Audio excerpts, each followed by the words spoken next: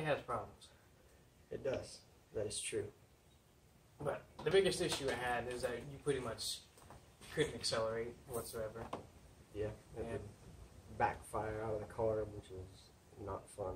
And it kind of blew up in my face while we were doing the timing as well. But yeah, yeah, that happened. But the biggest thing was that, and we, every time we got it on, every time we tried to get it on video, it never happened. yeah. Every single time. I think I got one, one thing of it.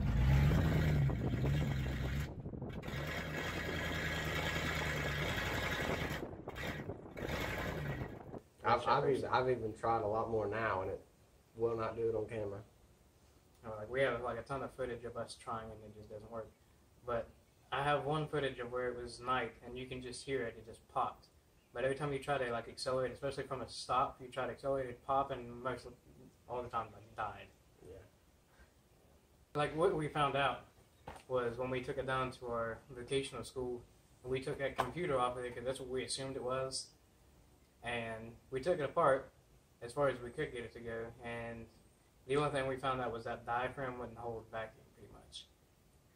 And he's, he blames it on me because he says that I dropped it and I probably broke it. Yeah, those those are very known to fail, though. Those computers are very commonly they commonly fail. Mm. And we like tried like we don't even have a vacuum pump down there. We were just trying to suck on it and it just wouldn't like hold it whatsoever. So then we he finally ordered a kit, which was what electronic emissions you said, Uh, It's a electronic ignition conversion, and which is what a lot of most people use that to get rid of the computer or any like points old style ignition. all right. Well, that's the new distributor that we got in. Well, we don't have the old carb plugged in because we haven't made any footage of this yet. We haven't really had time to. That's why the video has been taking so long. But that's the distributor that comes with that kit. Yeah, comes with this orange box over here. It all comes in one kit. along with that Ballast. This ballast here. ballast. Yeah. But I guess this semi fixed it, but we still can't figure out what it could be. We could be just the wiring because someone we know likes to use wire nuts, and who else? Who knows what else could be wrong with the wiring that he did? We'll check it eventually, but if we ever figure it out, we'll make a video about what was wrong. But this semi fixed it, though. That's all that matters. So, to get this all working, the ballast has this purple wire here. We have hooked up to the starter relay over there, which actually it's it's not the greatest setup, but there is a small little diode there to keep the starter from running while the engine is running because it's literally hooked up to the relay that turns on the starter. But anyways, this gives the coil a full 12 volts when you start it.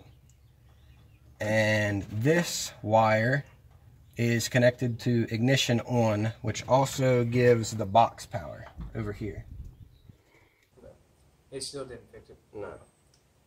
Like it still, it was better than what it was. You could actually at least drive it. That was the biggest, Yeah. you know.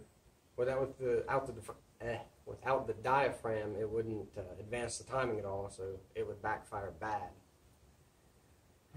So then he bought a new coil. It helped a little bit.